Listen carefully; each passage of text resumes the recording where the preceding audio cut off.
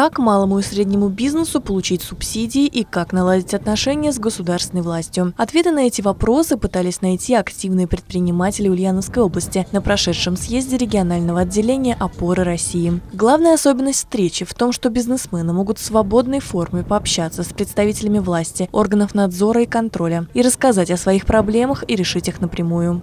Первое, наверное, многие в сети, в социальной сети, там, в интернете видели там посты посты Валентина Глухова, руководитель «Зеленой улицы», по поводу вот незаконной торговли, которая проводится перед его киосками. Да?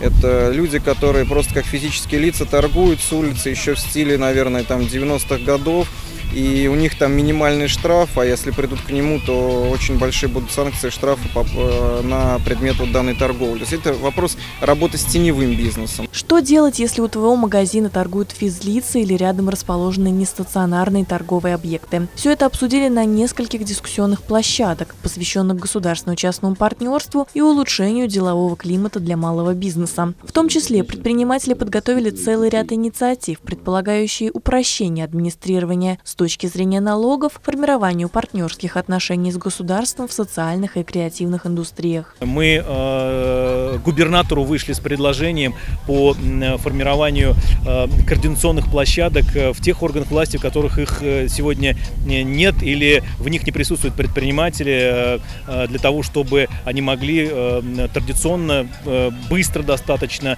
э, оперативно определять э, свои э, традиционно важные для них их задачи э, во взаимодействии с органами государственной власти. Инициативы передали на рассмотрение губернатору Сергею Морозову, который приехал на пленарное заседание съезда. Глава области напомнил, что с начала года в Ульяновске зарегистрировано больше трех тысяч новых предприятий. Колоссальное количество. Поэтому и на создание комфортных условий для бизнеса в бюджете 2019 планируется предусмотреть до 1 миллиарда рублей. Желание у власти одно – чтобы бизнес концентрировался не только в областном центре, но и в районах. Поэтому в ближайшее время в каждых муниципалитетах будут созданы многофункциональные центры для бизнеса. Мы э, откроем в течение 2019-2020 года на э, подобные ФЦБ э, в виде цифровых окон на базе сети центров развития предпринимательства во всех муниципальных образованиях. Мы в этом году завершим разработку программного обеспечения, ну а в следующем уже будем подобные цифровые окна делать доступными для работы с любого электронного устройства.